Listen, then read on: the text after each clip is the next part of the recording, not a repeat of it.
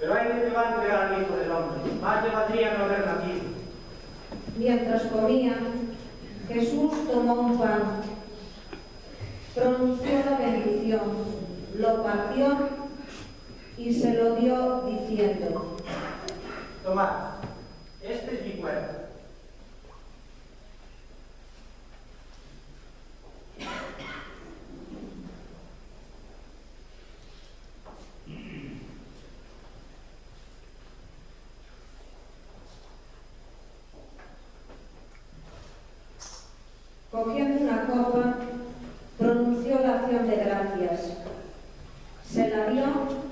todos bebieron.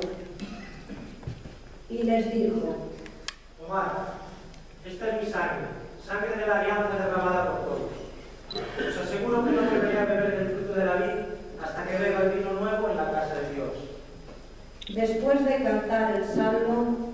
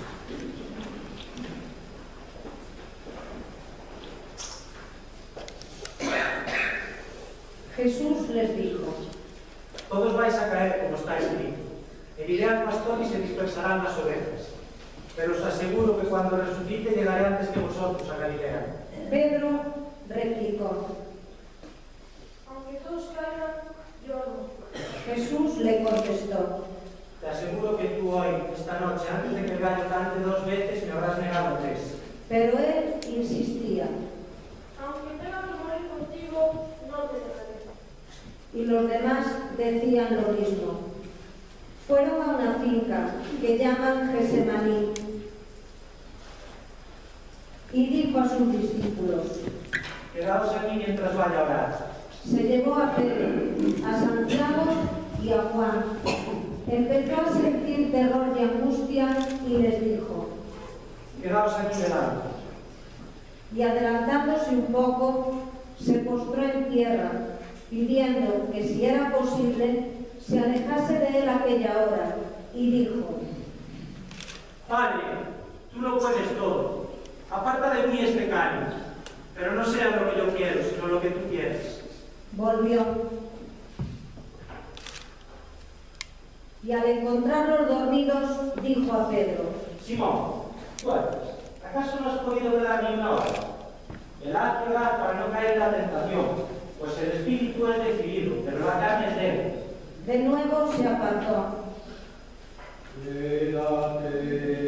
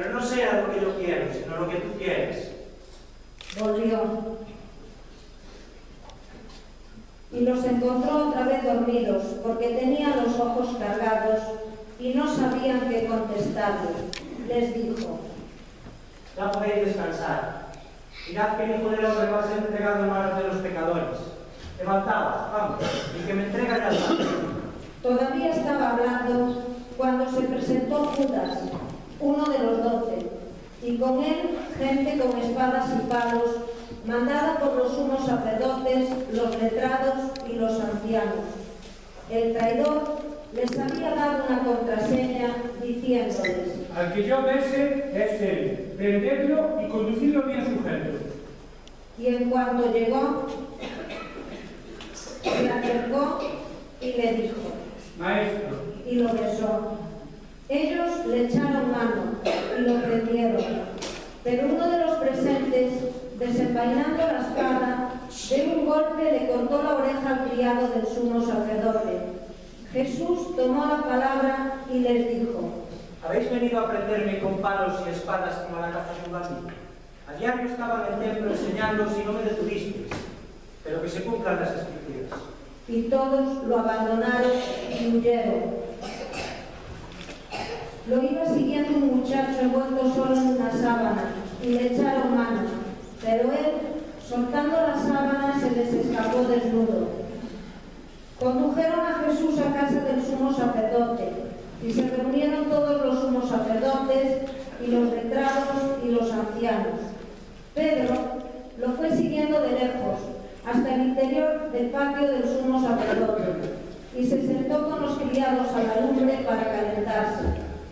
Los sumos sacerdotes y el Sanedrín en pleno buscaban un testimonio contra Jesús para condenarlo a muerte y no lo encontraban, pues aunque muchos daban falso testimonio contra él, los testimonios no concordaban y algunos, poniéndose de pie, daban testimonio contra él diciendo, Nosotros le hemos oído decir, yo destruiré este templo edificado por hombres, y en tres días construiré otro no edificado por hombres.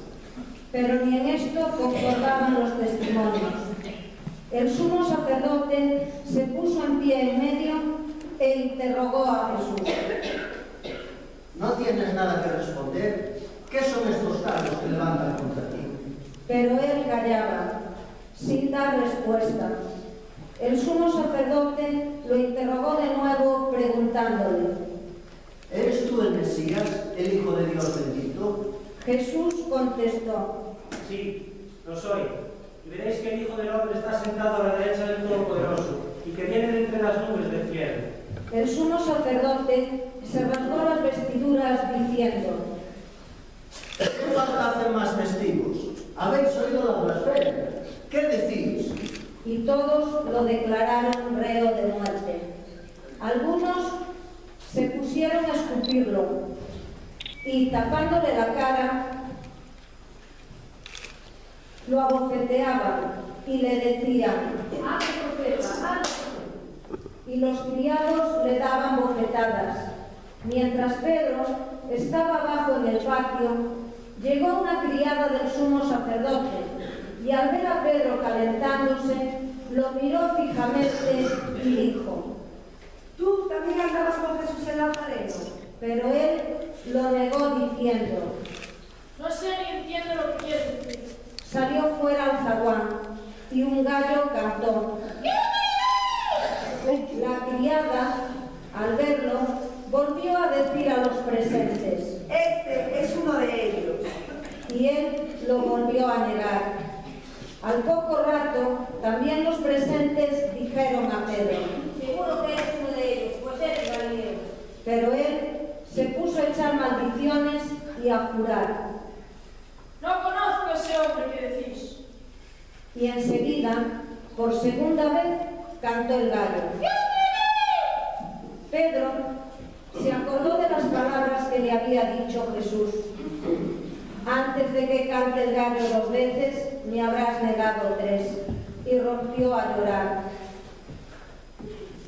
Apenas se hizo de día, los sumos sacerdotes, con los ancianos, los letrados y el Sanedrín en pleno, prepararon la sentencia.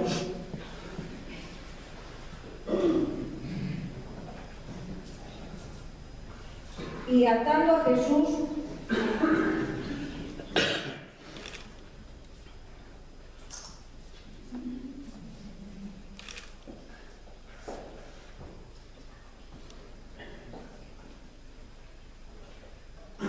lo llevaron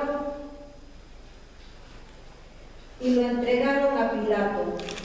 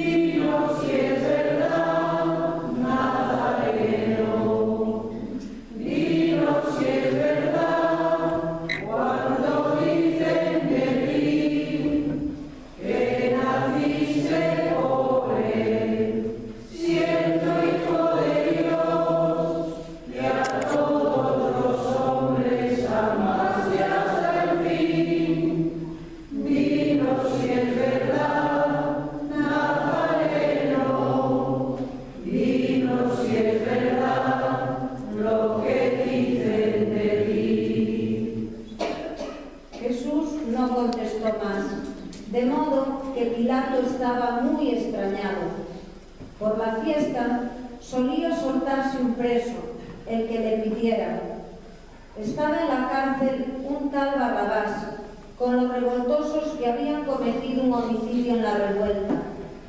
La gente subió y empezó a pedir el indulto de costumbre.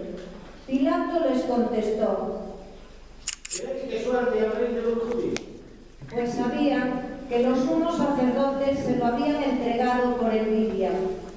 Pero los sumos sacerdotes soliviantaron a la gente para que pidieran la libertad de Barrabás. Pilato tomó de nuevo la palabra y les preguntó. ¿Qué hago con el que llamáis rey de los judíos? Ellos gritaron. ¡Crucifícalo! ¡Crucifícalo! Pilato les dijo. Pues, ¿qué mal ha hecho? Ellos gritaron más fuerte. ¡Crucifícalo! ¡Crucifícalo! Y Pilato, queriendo dar gusto a la gente, le soltó a Barrabás.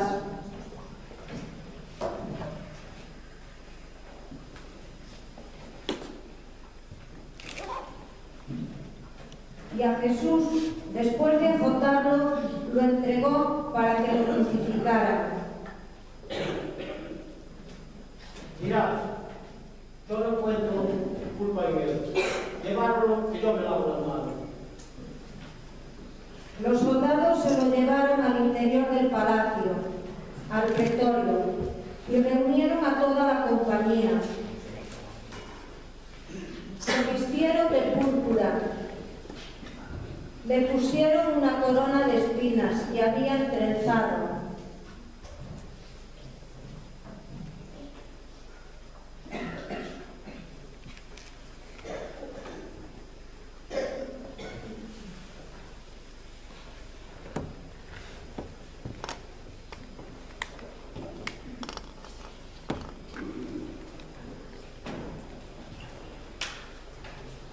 Y comenzaron a hacerle el saludo.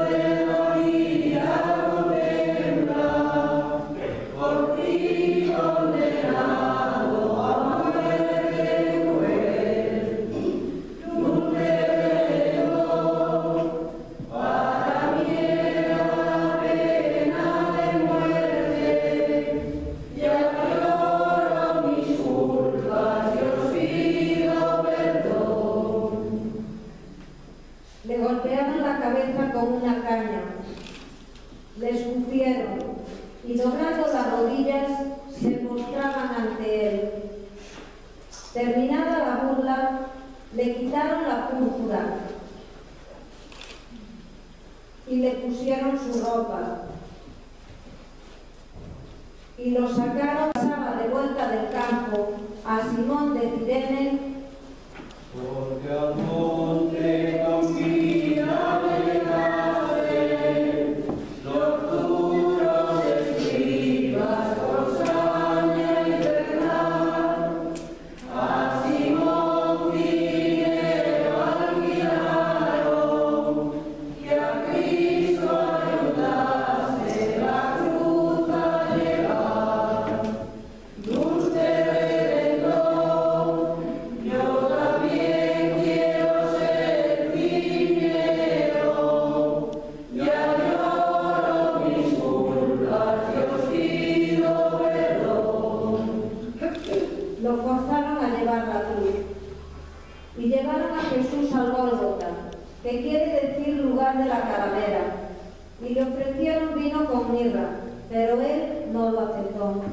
Lo crucificaron y se repartieron sus ropas echándolas a suertes para ver lo que se llevaba cada uno.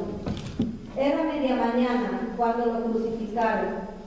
En el letrero de la acusación estaba escrito, el rey de los judíos. Crucificaron con él a dos bandidos, uno a su derecha y otro a su izquierda. Así se cumplió la escritura que dice, lo consideraron como un malhechor. Los que pasaban lo injuriaban, meneando la cabeza y diciendo, Anda, tú que destruías el templo y lo en tres días. Salva a ti mismo bajando de la cruz. Los sumos sacerdotes se burlaban también de él, diciendo, Ja, a otros ha salvado y a sí mismo no se puede salvar. Que el Mesías, el Rey de Israel, baje ahora de la cruz para que lo veamos y creamos. También los que estaban crucificados con él lo insultaban. Junto a la cruz de Jesús estaban su madre, la hermana de su madre María la de Cleofás y María la Magdalena.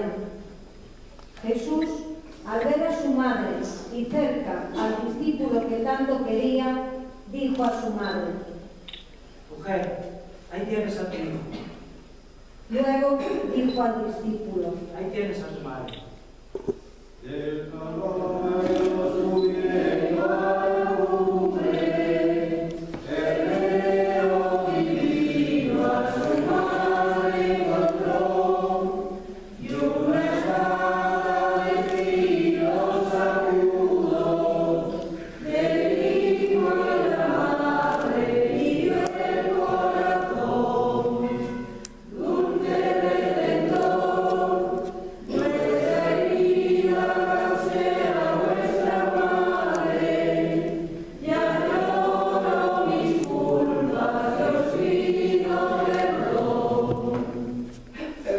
Desde aquella hora el discípulo la recibió en su casa. Al llegar el mediodía, toda la región quedó en tinieblas hasta la media tarde. Y a la media tarde Jesús clamó con voz potente, Eloí, Eloí, lama sabactani. que significa, Dios mío, Dios mío, ¿por qué me has abandonado? Algunos de los presentes al oírlo decían, Mirad, está llamando a Elías. y uno echó a correr y empapando una esponja en vinagre, la sujetó a una caña y le daba de beber diciendo, Dejad, a ver si viene Elías a bajarlo. y Jesús, dando un fuerte grito, expiró. El velo del templo se rasgó en dos, de arriba a abajo. El centurión, que estaba enfrente, al ver cómo había expirado, dijo, Realmente este hombre era el Hijo de Dios.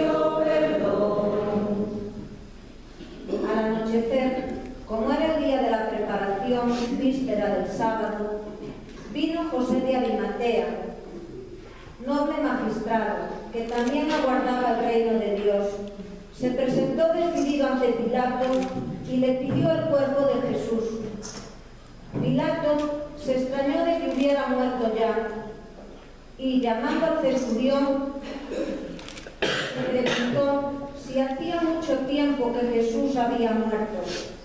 Informado por el centurión, concedió el cadáver a, Jo- a José. Este compró una sábana y bajando a Jesús lo envolvió en la sábana y, y lo puso en un sepulcro excavado en una roca y rodó una piedra a la entrada del sepulcro.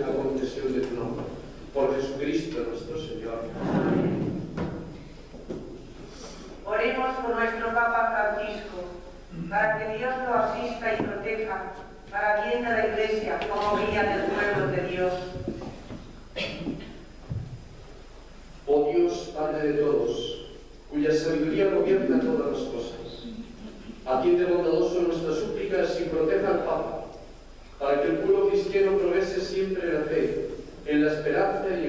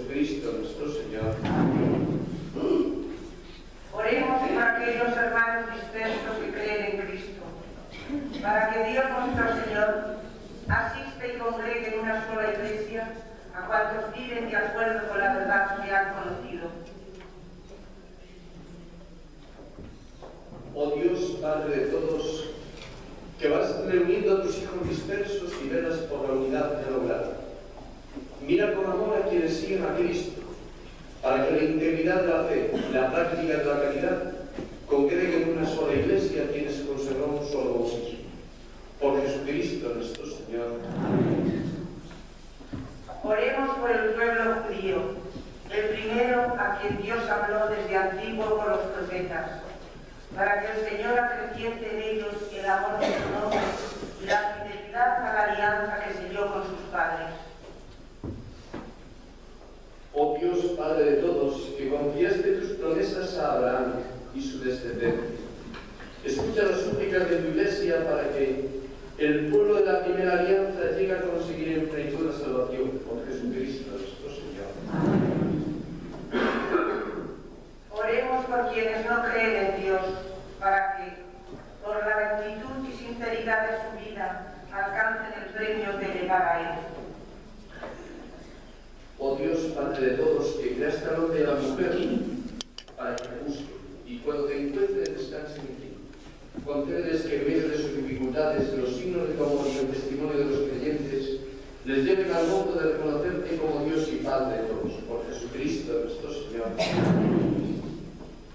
Oremos por los gobernantes de todas las naciones, para que Dios nuestro Señor, según sus designios, les guíe en sus pensamientos y en sus decisiones hacia la justicia, la paz y la libertad de todos.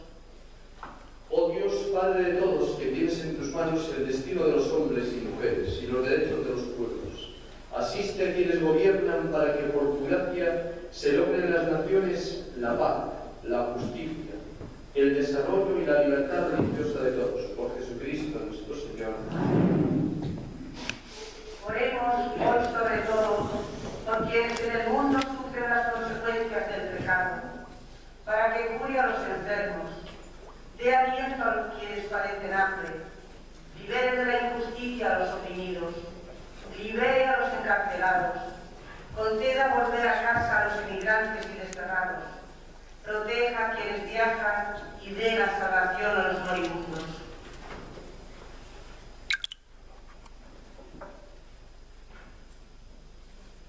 Oh Dios, Padre de todos, consuelo de quienes lloran y fuerza de quienes sufren, lleguen hasta ti las súplicas de quienes te invocan en su tribulación, para que sientan en sus adversidades la ayuda de tu misericordia a través